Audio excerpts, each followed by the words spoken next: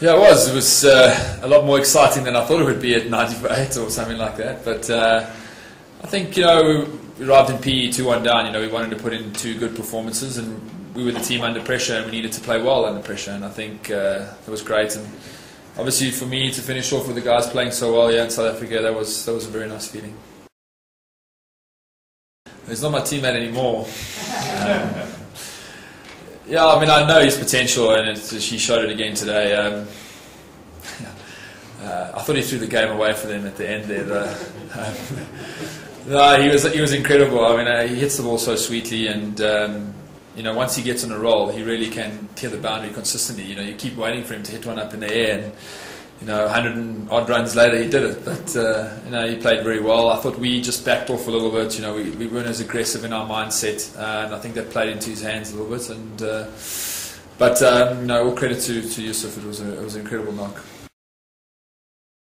It was a tactical decision from, from our point of view also. Um, you know, we feel that there's enough time for Imran to play in India in those warm-up games and stuff. And uh, also from a tactical point of view for the series, you know, with our batting being slightly light, it also, you know, put pressure on not being able to pick him run, but also that, you know, he's someone that we want to keep fresh and, uh, you know, not allow pe- people to the opportunity to see too much, you know. Uh, a, World Cup is, is very different and think throughout the series we've said that it would be nice to have the confidence of a series win yeah, and uh, of, of the combinations and stuff, but you know, we'll go to India with, uh, you know, Jacques comes back into the lineup and um, we'll look at a few different combinations for there. And obviously, we need to perform well. I think it'll be a lot, a lot more batter friendly conditions there in India, and we'll need to adapt our mindset to that and, uh, and from a batting and a bowling point of view.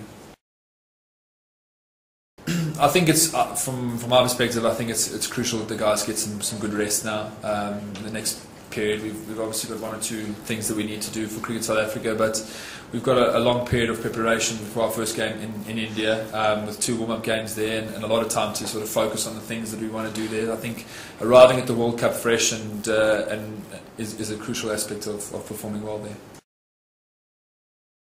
Um, I think that's the, you know, I was asked a question a couple of days ago. I think that's the great thing about our squad is that it's, it's unpredictable. It's hard to predict what the front first lineup is going to be, and I think it's the first time we go to a World Cup with a lot of different options, and uh, we need to assess the conditions there going into our first game and, and pick the team accordingly. Uh, I don't think we go there with a set 11 in our mind. We're going to pick the best uh, combinations that, for, for each game and that, that we believe can win that game.